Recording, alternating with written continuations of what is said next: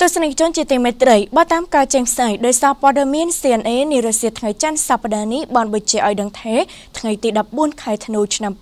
2020គឺជាថ្ងៃកំណត់ផ្លូវការនៃជ័យជំនះរបស់លោកโจ Biden ជាប្រធានាធិបតីអាណត្តិថ្មីរបស់សហរដ្ឋអាមេរិក។ អ្នកបោះឆ្នោតតំណាងឬអង្គបោះឆ្នោតនឹងបោះឆ្នោតជ្រើសរើសប្រធានាធិបតីអាណត្តិថ្មីជាផ្លូវការនៅថ្ងៃច័ន្ទសប្តាហ៍នេះពេលវេលានៅសហរដ្ឋអាមេរិកស្របពេលដែលមានការរំពឹងខ្ពស់ថាពួកគេនឹងបោះឆ្នោតឲ្យប្រធានាធិបតីជាប់ឆ្នោតលោកโจ Biden ខណៈដែលលោកប្រធានាធិបតីអាមេរិក Donald Trump នៅតែជំនះមិនព្រមទទួលស្គាល់លទ្ធផលបោះឆ្នោតដែលលោកនៅតែបន្តចោទប្រកាន់ថាលោកត្រូវបានគេលួចបន្លំនេះបើតាមការចេញផ្សាយដោយសារព័ត៌មាន CNA នៅរសៀលថ្ងៃច័ន្ទទី14ខែធ្នូឆ្នាំ2020លទ្ធផលបោះឆ្នោតប្រធានាធិបតីថ្ងៃទី3ខែវិច្ឆិកាដែលទទួលស្គាល់ដោយរដ្ឋទាំង50នៃសហរដ្ឋអាមេរិកនិងរដ្ឋធានី Washington DC បានបង្ហាញថាលោកโจ Biden គឺជាអ្នកឈ្នះទាំងចំនួនអង្គបោះឆ្នោតនិងសម្លេងបោះឆ្នោតពីប្រជាជនអាមេរិកលោក Biden ទទួលបានសញ្ញាឆ្នោតពីប្រជាជន81.3លាននាក់ ស្មើនឹង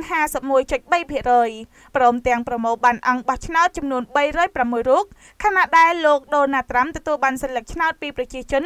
ចំនួន74.2លាននាក់ឬស្មើនឹង46.8%និងអង្គបោះឆ្នោតចំនួន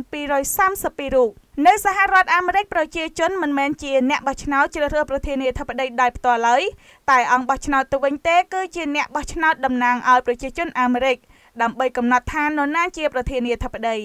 អង្គបោះឆ្នោតសរុបទាំង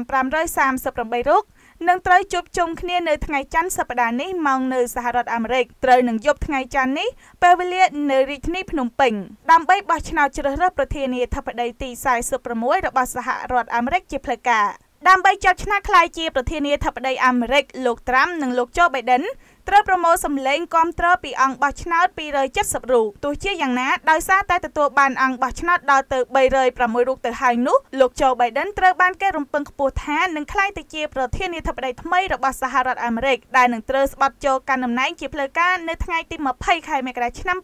2021គួរបញ្ជាក់ផងដែរថាអង្គបោះឆ្នោតឬ Electoral College ជាទូទៅត្រូវបានតែងតាំងដោយគណៈបកធំធំទាំងពីរនៅក្នុងសហរដ្ឋអាមេរិកគឺគណៈបកប្រជាធិបតេយ្យនិងគណៈបកសាធារណរដ្ឋក្រោយត្រូវបានជ្រើសរើសជាបេក្ខភាពអង្គបោះឆ្នោតត្រូវស្បត់សច្ចាប្រតិធានស្មោះស្ម័គ្រជាមួយនឹងគណៈបកនិងគ្រប់គ្រងគោលនយោបាយនៃបេក្ខជនប្រធានាធិបតីតំណាងឲ្យបករបស់ខ្លួនរដ្ឋធម្មនុញ្ញអាមេរិកមិនបានចែងថាអ្នកបោះឆ្នោតតំណាងត្រូវតែគោរពតាមការបោះឆ្នោតរបស់ប្រជាជន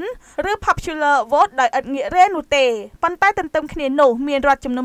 24ក្នុងចំណោមរដ្ឋទាំង50របស់សហរដ្ឋអាមេរិកបានចែងច្បាប់ពិសេសថាអង្គបោះឆ្នោតមានភារកិច្ចបោះឆ្នោតស្របទៅតាមចំនួនមតិភាគច្រើននៃប្រជាពលរដ្ឋរស់នៅក្នុងរដ្ឋរបស់ពួកគេ